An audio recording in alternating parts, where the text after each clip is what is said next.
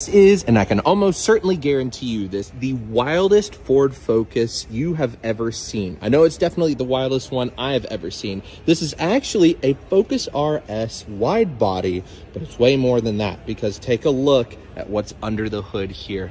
That is a Coyote 5 liter supercharged V8 engine. Now, normally these things are not rear wheel drive, but this one in fact is developing over 500 horsepower on the lowest conservative boost setting. And if we take a look back here, you'll see the dual exhaust tips and you can really see those wide body fenders on this thing. It's running a 265 wide tire on the back as well everything from the color choice, the wide body, the engine on this thing is completely wild, and I could not love it more.